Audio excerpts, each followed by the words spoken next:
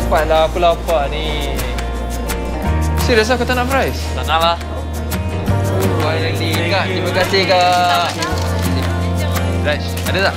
Oh, eh. Kata tak nak fries. Kau ni tak ubah-ubah lah, James. Eh. Sikit je. Kata tak nak fries, kau tak? Bila je lah. Jangan fries aku. Nikmatnya dapat bertemu di McDonald's.